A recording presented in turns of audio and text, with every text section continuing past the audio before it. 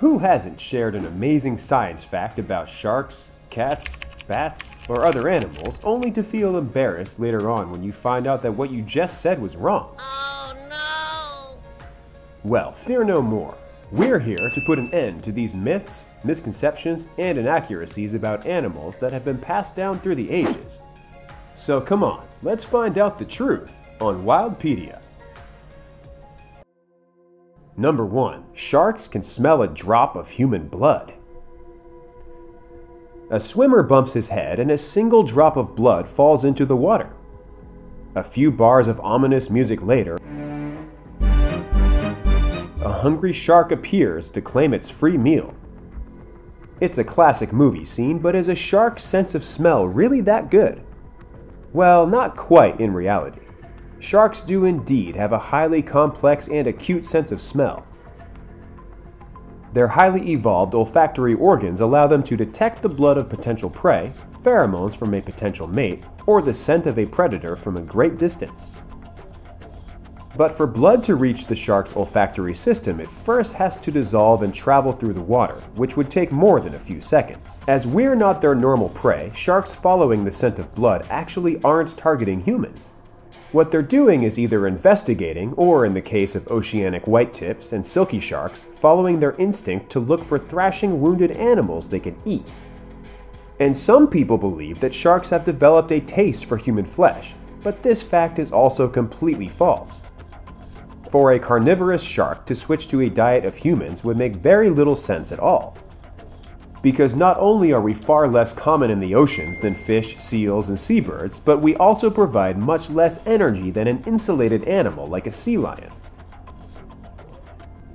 Given the low percentage of people who are actually killed in shark attacks, Nope. some scientists even argue that we taste bad to sharks.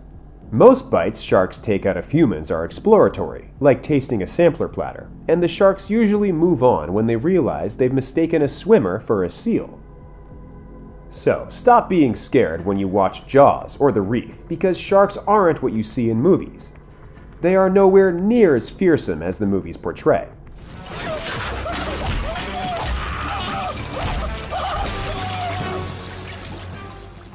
Too bad that they've been getting some really bad PR from Hollywood. Fish are friends, not food. Number 2. Is hippo milk really pink?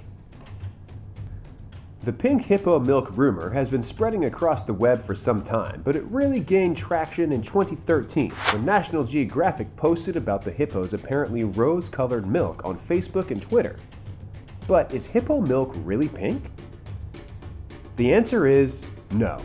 Let me explain. Like all mammals, hippos produce white or off-white milk for their young.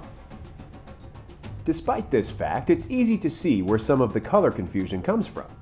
Hippos have no actual sweat glands, but their bodies do release an oily secretion frequently referred to as blood sweat. However, despite its name, this secretion is neither blood nor sweat. It's actually a blend of acids. Combined, these two acids play an important role in the hippo's health. This fluid not only functions as a skin moisturizer and a sunscreen and water repellent, but also offers tremendous antibiotic properties to protect hippos from harmful bacteria. That means hippos can live in some pretty toxic spots with minimal risk of infection. Now here's where it gets weird. This special secretion comes out colorless like human sweat, but turns bright orange red in the sun, making it look like blood. The liquid will then lose its blood-like luster and shift to a dirty brown color later on.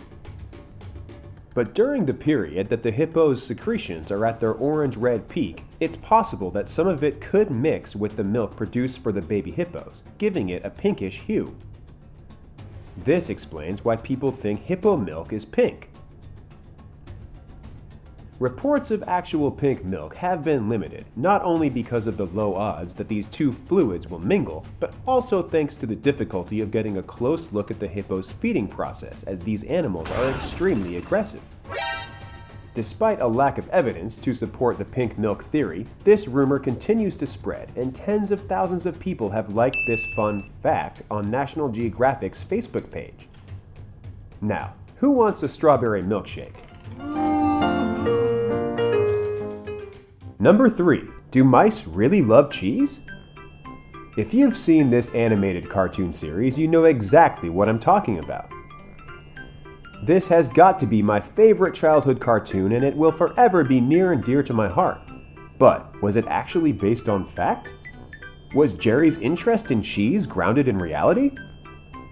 Contrary to popular belief, mice really aren't all that crazy about cheese. Sure, they might eat it if there's nothing else around, a hungry mouse can't be too picky, but it's far from his favorite food. This myth likely dates back to the Middle Ages. During this period, it is possible that hungry mice simply dug into whatever food they could find, as the food hanging from the ceiling, where people put it to protect it, was hard to reach. Stealing a few morsels from a bag of grains leaves little evidence in many cases, while biting into a hunk of cheese leaves behind telltale teeth marks. This evidence may have spurred the idea that mice love cheese, even if they were only actually eating the cheese because it happened to be accessible. So yeah, the idea of mice loving cheese is largely an image that's been pushed by pop culture, rather than a real phenomenon. Mice enjoy many varieties of food, which may include cheese. However, this isn't an exclusive favorite of theirs in most cases.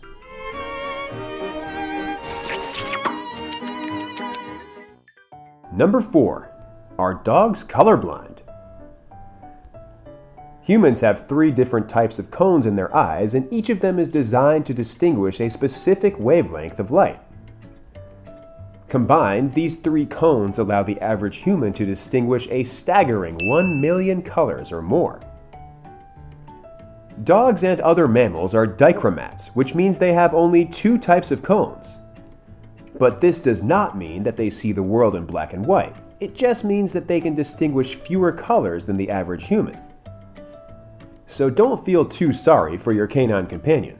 Even with just two types of cones in his eyes, he can still see somewhere around 10,000 different shades. Doggy vision is very similar to that of humans with red-green color blindness. They see a rich spectrum of colors but may mix up shades of red and green, or those with any red or green components, like purple or blue-green. While the average human can see the full spectrum of color from red to violet, a rainbow appears slightly different to dogs. Instead of gradually transitioning from red to orange, yellow, green, blue, indigo, and violet, a dog's visible color spectrum starts with a deep brown, transitioning into lighter brown, yellow, gray, light blue, and then dark blue. So keep your canine's color capabilities in mind next time you're shopping for their perfect toy. Skip the bright red and stick to colors like blue or yellow that your dog can truly appreciate. So, what do you think of these explanations? Any more animal myths you're curious about? Let us know by commenting down below. And as usual, please give this video a thumbs up if you liked it. And make sure to subscribe to our channel and turn on the notification bell so you won't miss anything from Wildpedia.